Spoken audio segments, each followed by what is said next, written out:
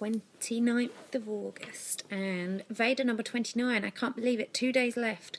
The whole month has seemed to vanish. And um, yeah, I can't believe I'll have been in New Zealand from the start to finish of VEDA. And heading back to the UK on a plane on Saturday evening, which will be Saturday morning back home in the UK, which will be Friday afternoon and evening in the USA. And today I had a look at the calendar on uh, Amy Schmittauer's uh, website and see that it's about talking about something that's in the news. Um, New Zealand doesn't have very much news, which um, is an interesting topic in itself because um, it's a pretty. Oh, it's rubbish collection day. Noisy lorry outside. Um, because it's quite a low population of people here and it's a really safe country, um, not very much happens that makes the news headlines, and the stuff that does make the news headlines is usually quite um, comical. So I've just been having a look on the BBC website to find out what's going on in the news back home, and um, I guess it's kind of funny because I'm trained from days of being a child, or to not really to tune out of the news when I'm on holiday, and to just kind of lose touch a little bit with what's going on back home and switch into holiday mode. Because I've been here a whole month and I've been working and um, obviously getting married and going on honeymoon and all those kind of things, I've kind of automatically switched off from the news. So it was really good to be prompted to look at the BBC website today. Um, some big stuff happening, but I wanted to pick out something um, that wasn't quite probably the main headlines.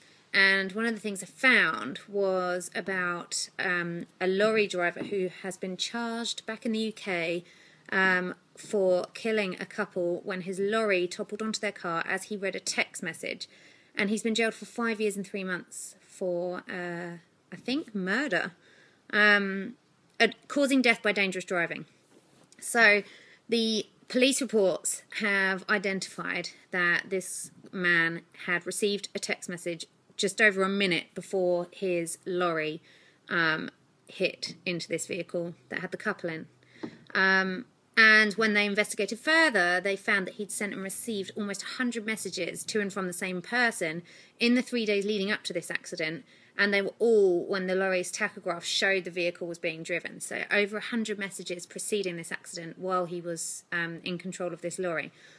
The reason this is interesting, the reason I picked it, is because I was pulled over back home a few months ago for, um, or the police officer thought I was texting while I was driving. And I debated it or disputed it because um, the clock in my car wasn't working, and I have an iPhone, and when it's locked, if I just press the home button, it flashes up the clock.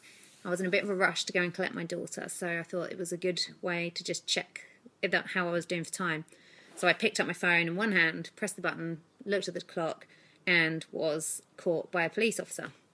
In the UK, it's illegal to be using a mobile phone. You have to be entirely hands free while you're in control of a car down to the fact that you're not allowed to make or receive a phone call or text message unless you are pulled over safely and the keys are actually out of the ignition of your car. So if your engine's running, you can still be charged for um, sending and receiving messages or whatever it is.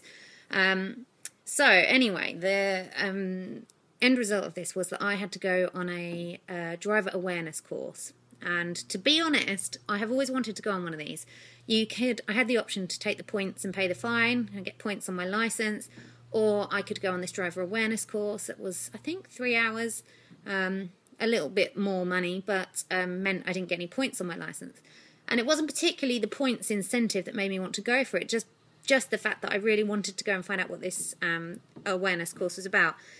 And I have to say, before I like I say, I was disputing the fact that I wasn't actually texting when the policeman pulled me over and said I was texting. But what I found out from this course was that the one simple thing that I took away from it was the fact that if I take my eyes off the road for two seconds when I'm travelling at 60 or 70 miles an hour, um, and two seconds literally, they did this exercise with us where he clicked his fingers and we had to look down and then look up when he clicked again. So it was two seconds. And he said, in that time, if I was in control of my car from between 60 to 70 miles an hour, I would have travelled over 200 feet without even looking at the road. That is a long way. And when I read this this morning in the news, it's quite scary to think of what a massive 10 ton or however it was lorry um, the damage that can obviously do in that amount of time. Now, this guy has obviously been, um, yeah, out of control of his his lorry for a mammoth amount of time in those three days. Each each text message, over hundred text messages, and I guess it takes anything between thirty to forty five seconds to type a, a short text message. Um, it's quite scary, and yeah, it's quite staggering. And I know that this is happening all the time. We're all doing it all the time, distracted in one way or another. But my point was that just because I wasn't texting didn't mean that I wasn't actually distracted from focusing on my driving. And while this guy has been charged and made a big, big example of, um, it's it's difficult because we all know that we all live with our communication devices and we have things and we need to communicate with people and we need to answer phones and we're distracted in a whole range of ways while we're driving. But I think it's really topical for me at the moment because it was a wake up call going on that course, and reading this is kind of alarming. Um, and yeah, I know that in the States it's not illegal, or as far as I'm aware, it's not illegal because they're always showing it on TV and people are answering their phone or sending text messages or even posting things on Twitter or Instagram while they're driving their cars. So I'm guessing it's not illegal. Um, here in New Zealand, it is illegal, but they don't seem to enforce it very strictly and people seem a lot more relaxed about it. Because I've been on this course and because I'm now reading this um, news headline today, I'm really uncomfortable when I see somebody in charge of their phone and driving. So I guess I'd really love to know in response to this video today, super long video, almost seven minutes. I'd really like to know where you live, what the rules are, and what your thoughts are on, um, yeah, using your phone, whether it's to text or make a call while you're driving. So happy VEDA Day, uh, something a little bit more on track for me. And I will see you tomorrow for the penultimate day of VEDA.